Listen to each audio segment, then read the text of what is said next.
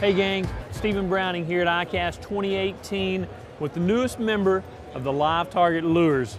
We've just uh, received the freshwater soft bait category best of show with our new Hollow Craw. This, this bait actually comes in three different sizes, a half, a three eighths, I'm sorry, a three eighths, a half, and a three quarter ounce. Comes in four different colors. And let me show you a little bit about this bait, which really makes it sweet. On the head of the bait, which is actually the tail, it has a couple little flanges on it, which actually will help that bait stabilize, keep it up in there in that posturing position. The hollow body that's in the center actually acts as a weed guard. As you see, it'll collapse, exposing that hook. An extra wide gap hook. The pinchers actually have air pockets in them, so they're gonna float, get that crawfish in that posturing position that's really a defensive posturing position.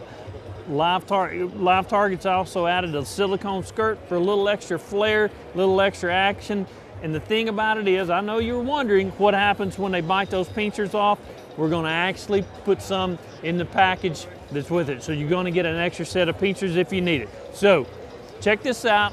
Pre-order it live at uh, tacklewarehouse.com. This is the new LiveTarget hollow body craw.